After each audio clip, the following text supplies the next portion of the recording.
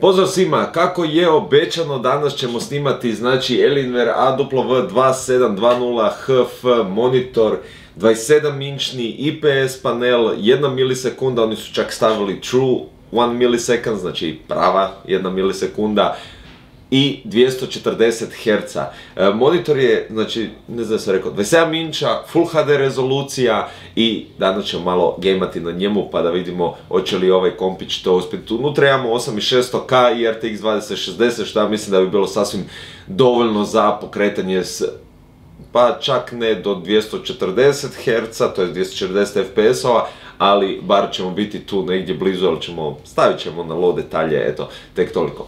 No, malo o monitoru rekao sam konkretno sve ove bitne e, specifikacije. Kao što možete vidjeti, tanki su rubovi, tako da ukoliko želite si ih možda još jedan dodati, da imate baš prave iste monitore da to lijepo izgleda, možete, naravno neće se vidjeti rub toliko. E, sa stražne strane imate tipku s kojom u biti odkvačite e, monitor od nosača i možete sa VESA mountom ga montirati na zid imate DisplayPort i dva HDMI kabla, imate dodatno priključak e, za slušalice ili 3,5 mm priključak, a sa lijeve strane imate priključak USB da spojite ga na računalo kako bi osvjetljenje radilo i kako bi mogli koristiti dva dole USB-a 3.0. Također i kabel za napajanje, adapter je već u monitoru. Vezano za sam dizajn, znači kao što možete vidjeti s prednje strane kad ga gledate je kompletno crn, a sa stražne strane imate ovu sivkastu boju, gore vam je sa ove strane desne e,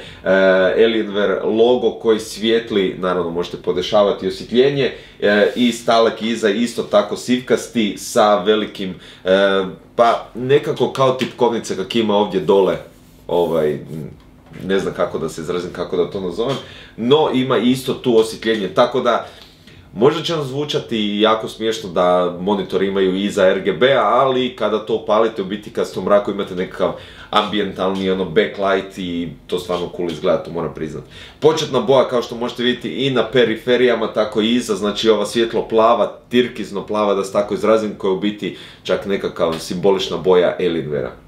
E, stalak je dosta masivan, kvalitetan dizajn, tako da nemate brige oko monitora ili nešto da će se dogoditi. E, možete raditi pivot, možete raditi tilt i naravno možete ga i rotirati na oba dvije strane, što je stvarno odlična stvar i naravno gore dole spuštati koliko god vama treba i kako god se vama sviđa. Na dnu stalka imate rupu tako da možete fino provući kabele, napraviti lijepi keblo, organizaciju e, kabela, ako imate žičani miš tipkovnicu možete isto provući jer ima dovoljno mjesta. Ja sam sad provukao znači DisplayPort, provukao sam napajanje, provukao sam USB i sve radi top.